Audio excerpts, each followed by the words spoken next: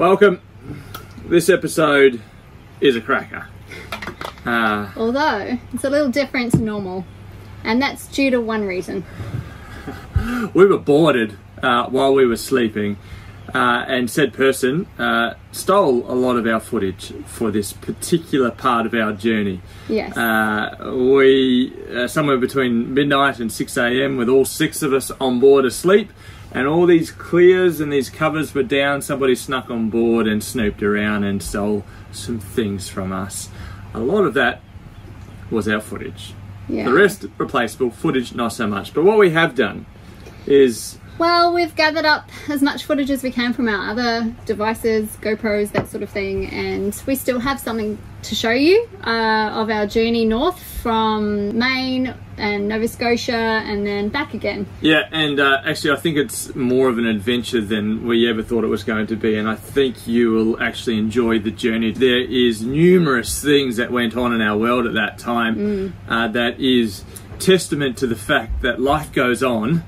Regardless of your lifestyle, Yeah, life happens. life Uh, happens. in this episode, we have a hurricane that is genuinely coming for us, and we run from it. Yes. Uh, we have a health diagnosis that is heavy enough that we are not prepared to share it with the public, and you're welcome, uh, despite your perhaps concern, curiosity, or otherwise. Uh, you just need to take our word that your day will be better Not for not carrying it. We also uh, find ourselves getting grilled by the CBP. Mm. And yes, on arrival back into the States. we also get boarded. Um, Yes. And uh, perhaps we start from the beginning. We are a family of six who call the ocean our home. We feel incredibly blessed to be doing this life together as a young family, embracing the ups and downs of what is a life at sea. This is our floating home, Happy Days, and you are invited to follow along as we share this incredible adventure. Have a laugh and be inspired to pursue a life less ordinary. Click the subscribe button to keep up to date as we see where this journey takes us. We headed up the east coast of the US to Maine, which is a stunning part of the world. We truly did love it. Maine was lovely. I don't know if this is going to do it justice, but there is a minefield in front of us. You've just got to take each one as it comes. Look at that. Anyway, plotting a course. Definitely an argument for a monohull in this part of the world. We've only got to think about half the boat as far as slotting these. And we're doing nine knots through the water, so we're yeah, we're, we're slow.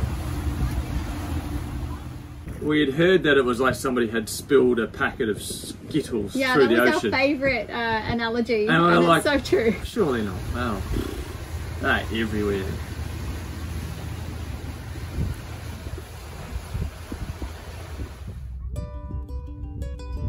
New fishing rods. It's the first time I've had a fishing rod in the Atlantic. I've been very patient. We've been using hand reels. Whoa, beauty! Oh, nailed it.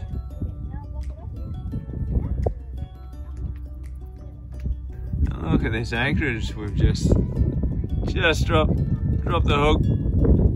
No one else here. We're gonna go and have an explore. On uh, other news, we also didn't hit any crab pots and uh, sorry, lobster pots and uh, managed to jibe through them and around this island, sailed all the way in, so it was awesome. We then headed further east towards Nova Scotia, uh, and it was like day and night. Uh, even though they're in a similar region, most definitely different countries, and man, Yes. did it feel like it. Uh, the tides shrunk to a third, for argument's sake, from the large tides of Maine to what I'll call manageable tides of Nova Scotia. Uh, Yes. The lobster pots No disappeared. more lobster pots. Oh gosh, that was a relief. Yeah. Yeah, There was still fog. There was still fog. I can see Canada! Oh my goodness, we had to get so close but the fog is clearing and we get our first glimpse of McNutt's Island.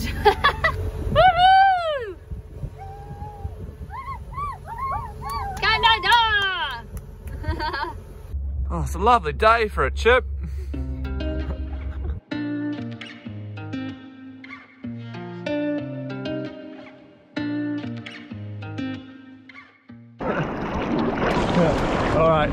Guys are frozen. I've just got out here and they're. Uh...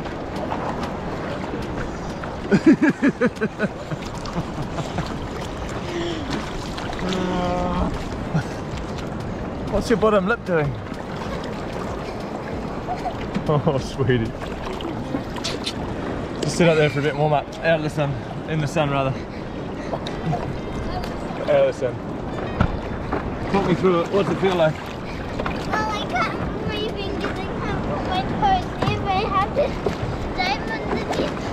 Alright, let's catch this one and then we'll get you in. Alright, lay down. Hey mate! Start paddling. Yeah, yeah, yeah, yeah. Take your time, take your time. Go! Ew.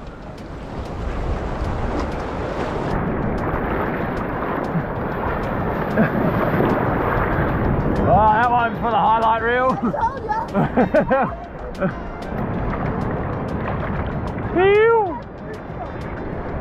Yes. That was, that was a good one.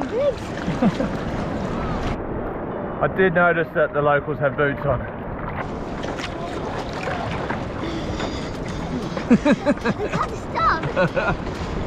to be fair, Ted has the thinnest wetsuit and he's been the bravest. I don't think there's any waves down there. no, no, honestly, if you want to not catch waves, stay there.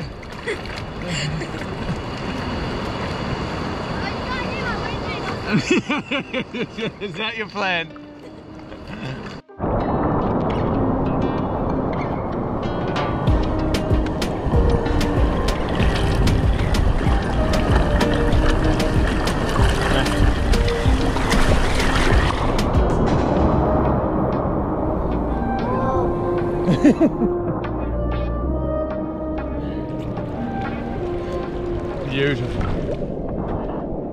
Halifax itself as a city will always be with us for numerous reasons. Yes. Um, but we loved um, being able to uh, pull up right there on the foreshore and for free you can hang out there Absolutely. on the dock all day long right in the guts of halifax and it's it was amazing. incredible so we really enjoyed that we're tied off downtown so we're going to go explore soon got the skateboards ready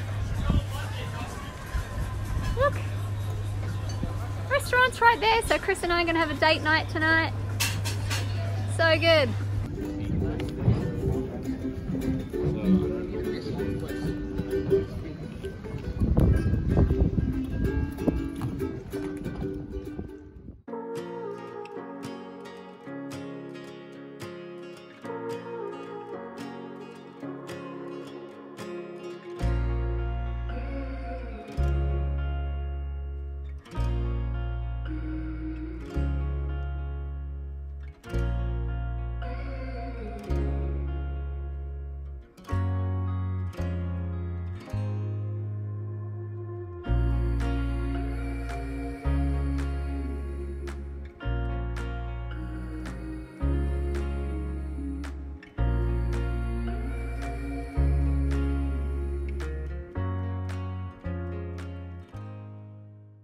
We're still tied off to the dock here. It's absolutely stunning. Beautiful, beautiful downtown Halifax with all their fairy lights and waterfront restaurants. It's just been amazing. The fog's just coming in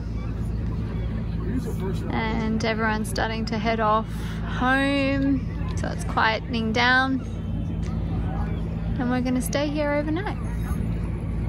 Pretty special. We're just about to push off the dock and um, it's pretty busy. Ready Give to, us a wee bit there, chum. Ready to push off? Yeah. Alright, get rid of it, champ.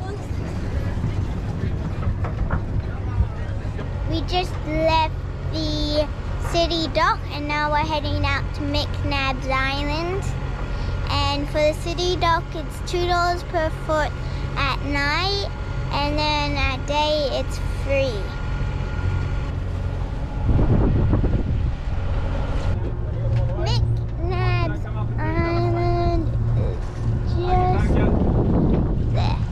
There was also an island quite close to Halifax that we got familiar with, McNabs Island, and that was really lovely. Walks on there, fresh blueberries. Yeah, it was. really We'd go, fo- special. go foraging. yeah. It was a, a really neat scenario where only two nautical miles away from the hub of Halifax is an uninhabited island where you could anchor off. So it just mm. worked really well. Yes. About setting up, go for a kite.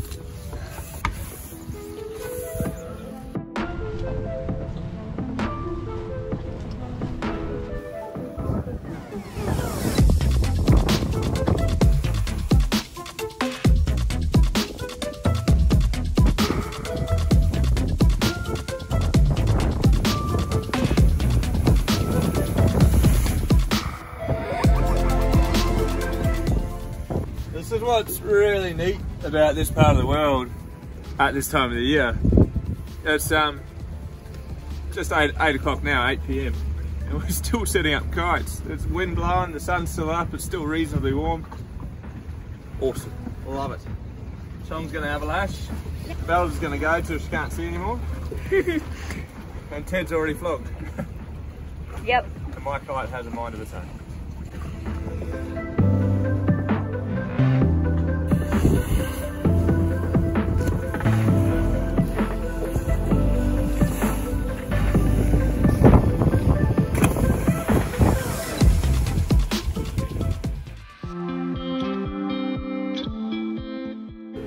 Also did some boat work. Boat work happened in Nova Scotia, and a big shout out to the guys at East River Shipyard. They yeah. were super Legends. helpful. Yes. We dropped our rudders In water. in water, in cold water, but it was clear water, so that's a win. Yes. And uh, fixed some damage that we had from way back on the Pacific side of Guatemala.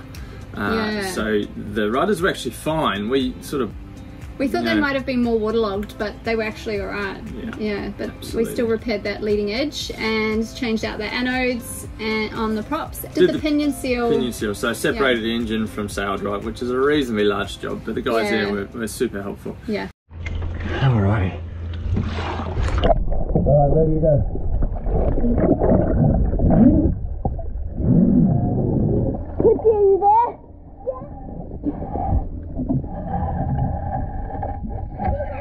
No, don't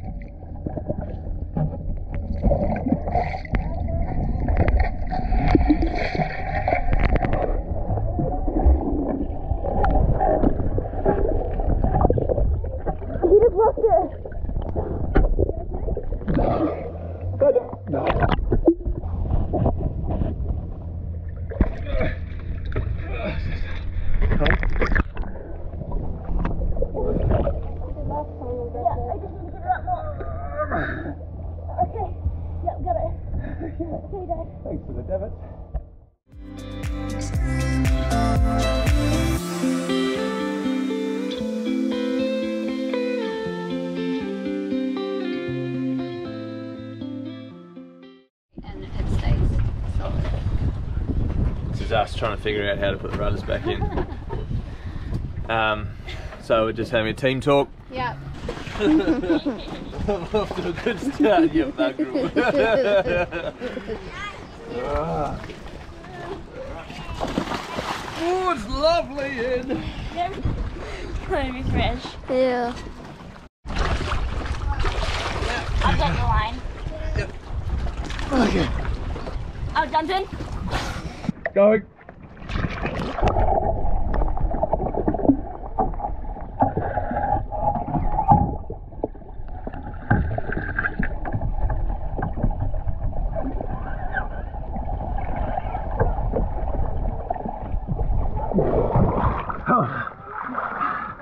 I've got it with my foot. I know, Bells is just trying to get roped off. Hang on. Wait, wait, wait. Hang on. We're through. We're Nice. Got it through? Yeah. Okay. Put the, put the nuts on, please. I've still got the weight. Beautiful. Yeah, you get to let it down when you want. Alright, letting it down now, ready? Yeah, and That's we'll it. just, Yeah. we'll just tighten it in a minute.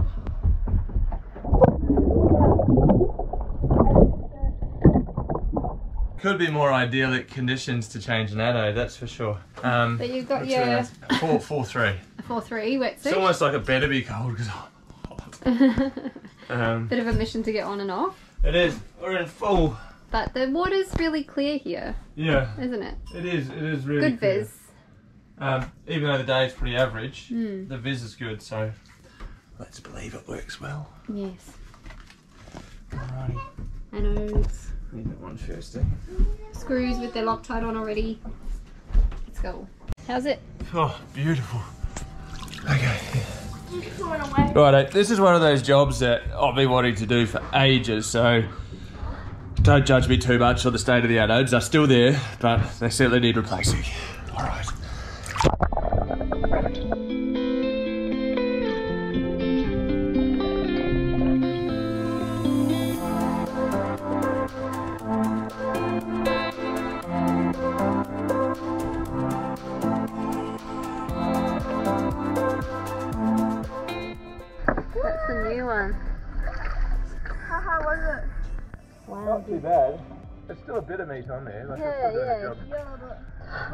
bad. Falling apart. Yeah. Like it's really crumbly. Interesting.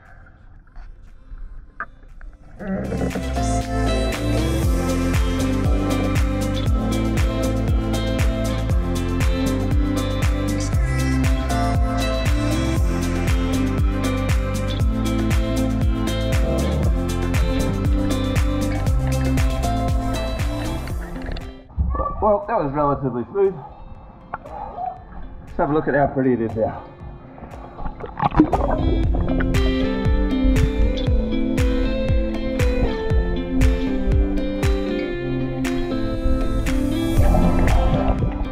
Next step is to give the props a clean. One step at a time. Done as the thunder rumbles behind me. I know. Anyway, stoked. One of those ones that I've been thinking about for ages. Ordered them like months ago. And uh, of plays on your mind a wee bit, but Another job to tick off. Yes. Tick it off.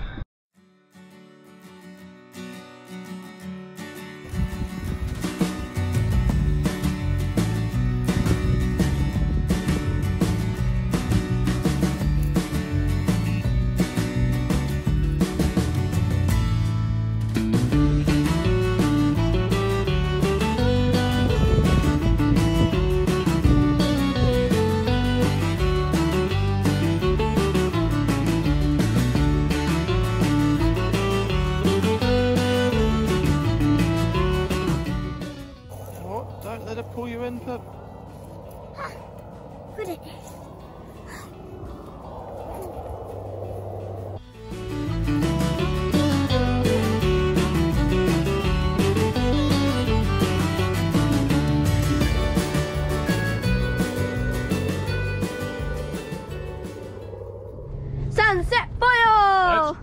Go, go, go. Oh no!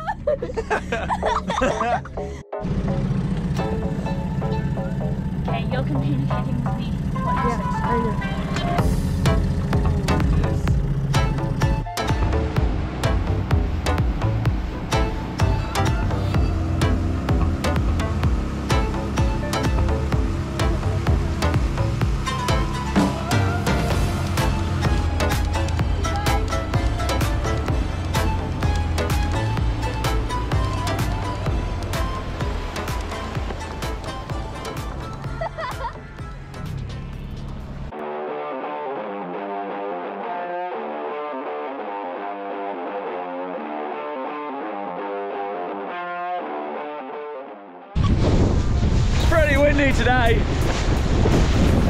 Definitely a bit of swell too.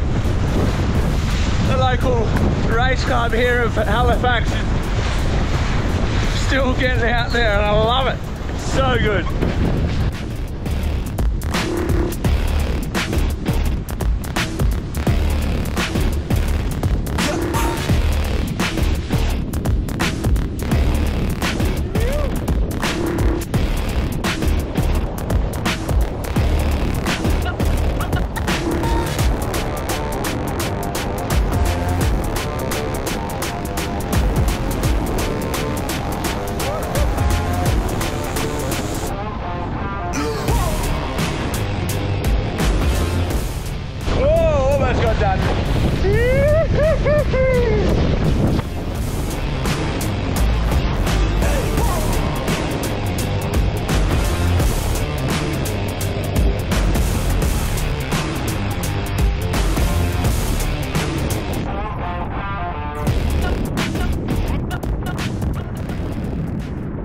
So the whole idea behind going up to Canada for us as Australians or New Zealanders, kids, uh, Aussies, we're, we're Kiwis, but whatever, we're from that corner of the world.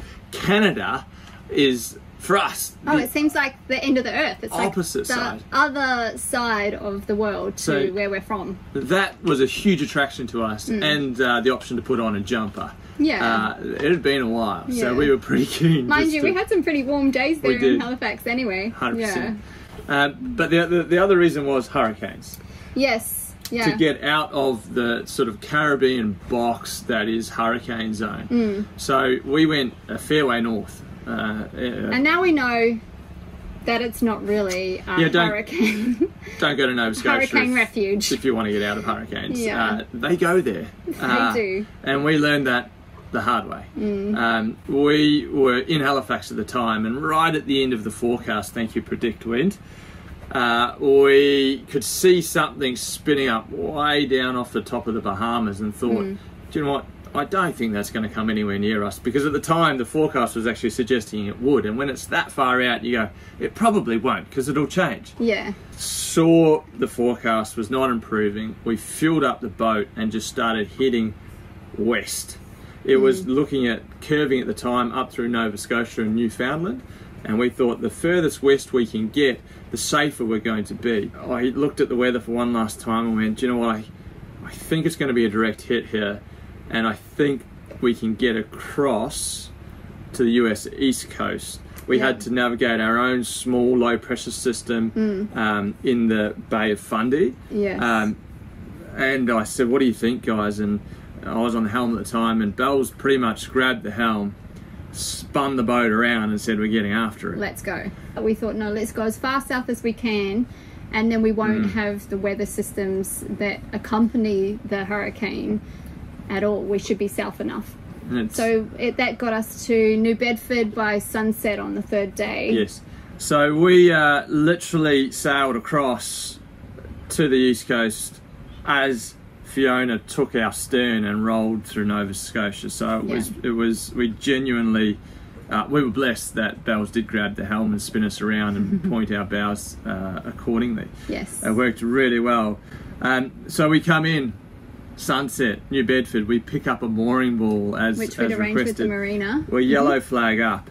We've just run from a hurricane. We're pretty knackered. Yeah. And and the passage wasn't awesome. Like it wasn't a good It weather was, window. it, was, just pretty messy it was weather. doable. yeah. Uh, Oh goodness. But we got we got in. We did, and we'd arranged to meet CBP at 8 a.m. the following morning. They were happy for us to spend the night on the on the mooring ball, but not not go to land. And so that's we followed those instructions. We had everything closed off in here. We were elated with the fact that we had outrun a hurricane. Yes, Uh, and uh, I got to bed at, bed at about midnight that night. And somewhere between midnight and 6 a.m., uh, we were boarded Mm. in New Bedford, Massachusetts, of all places, all sketchy places in the world we've been, is where we were boarded. Uh, and somebody snuck on over the top of our cabin. And I've got pretty good ears to hear, or at least so I thought. Yeah, Uh, but we were tired. I mean, we we'd were been at sea for three days. So we've woken up here in Massachusetts after arriving yesterday, quarantine flag still up, and we've been boarded during the night, and my phone's been stolen. It was plugged in Our clothes are open, our doors are just here. This door was open. There's footprints on the back. This zip out here is always shut. This kite bag has been shut. It's been out here because we need to repair it. Someone's been in there. You haven't been in there for. I've No not one has touched there. Just leave it. What did they steal? No, well, they probably opened it to see what it was. This this zip is always shut. In fact, this zip It's a dud this zip is the dud one. So we always go out this one. Right? And then there's like dirty footprints on the back. Like shoe foot. So they've come in, had a look in here, Open the door. opened the door, I'm in here, I'm gonna seen seen my phone was there, and uh, stolen it. I mean, it could have been worse. There's And there's like a speaker, there's computers. there's computers and the passports are just here. Like it wasn't locked, but and this just this so tired after passage, this door- anyone, like we would have woken up this, I'm fast asleep. this door was shut. and it squeaks. So someone's come along and just opened it enough. to come in, reach in here, and steal it. So that's mightily crap. All of our, a lot of our footage is on that phone. Dad's work. A lot of my work stuff. It's got passcodes and whatnot. But that's a significant. And to check into the country, we're going to need yeah, to do something else. the, C, the the CBP app uh, that we that we tried to check in on last night was on the phone. Was on the phone. So I don't know what that means. We got customs this morning at eight thirty. I need to call them at six thirty at the morning. I just got got up to go to the bathroom. We've got two hours to figure it out. I don't even know why I came up. Like we've been in countries that Like Mexico, for out this has never happened. Ay, ay, ay. All right. Let's leave straight away. Well, we Can't. can't really. Bless them. They obviously needed it more than we did. Uh, but a wee bit uh, We were a bit misfortunate. rattled by that the next morning. That was pretty full on. yeah, called the harbour master and he was like, "You what?" And I was like, Well, like, one "Yeah." of the things that got taken was the phone, and that was how we were communicating Oh, with, with the, the app with the CBP. yeah, with the Roma. And so we had to contact the officials and say uh, we've been boarded, and they said whatever, we'll check the cameras. And they said, oh, it was dark, we couldn't see. I said, oh, I fancy that. For what it's worth, uh, the harbour master at New Bedford was absolutely astounded. Uh, and then we do go, go in at 8 a.m. to see the CBP officers. They were also astounded. Yeah, and the marina was really a- apologetic as well. Um, they said nothing like that's ever happened there. So it was super unique situation, circumstances, but I mean, it doesn't change where we're at. Key point for those who have been following our journey for a wee while, remember the ESTA scenario that we had when we were going into the US. If not, there's an episode up here somewhere that you can go and click on and have a squiz at how that worked. We needed to undo that. Yes. Or, in other words, start it again. Yeah. So, uh, we took a road trip into Maine across the land border between At Canada? Yep. and the US. And just to give this context, because I know there's going to be some viewers out there that are going to find this fascinating, and you're welcome. Learn by doing is what we're good at. Uh, the the land border heading into the US asked us all the questions, and we were completely straight. This is what we've been doing. This is where we've been. This is what our plans are. We're on a boat.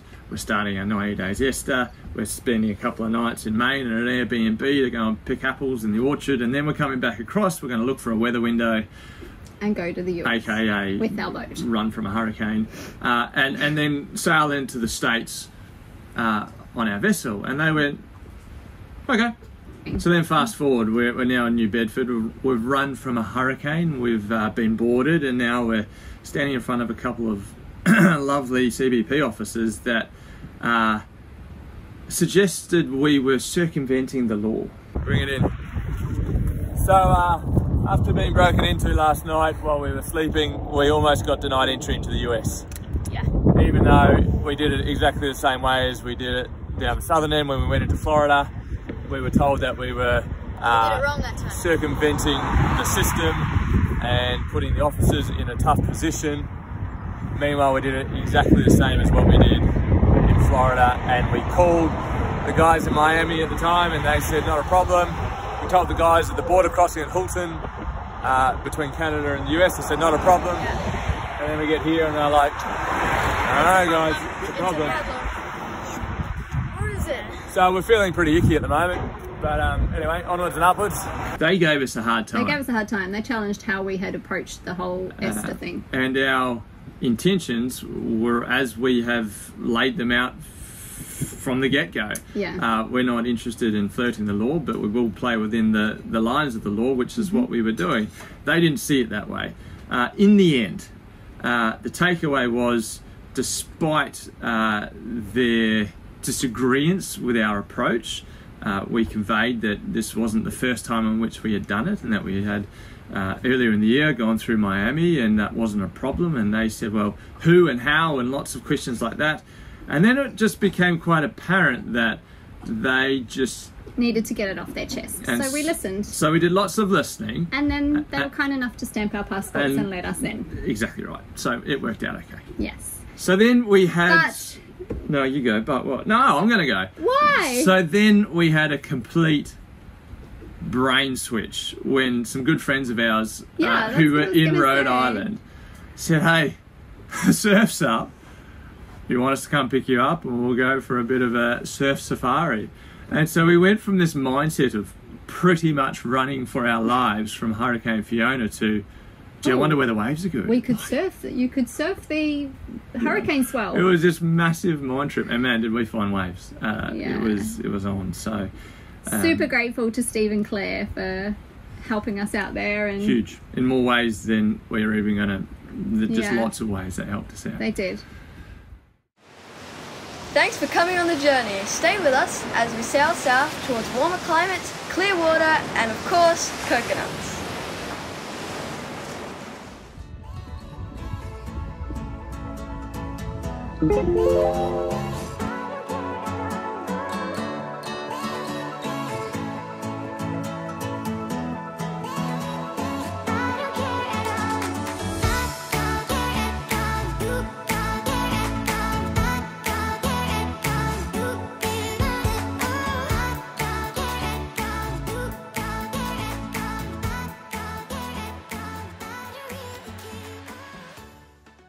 So we're uh, upping our security game this evening, uh, Joshua Slocum style. If you know, you know.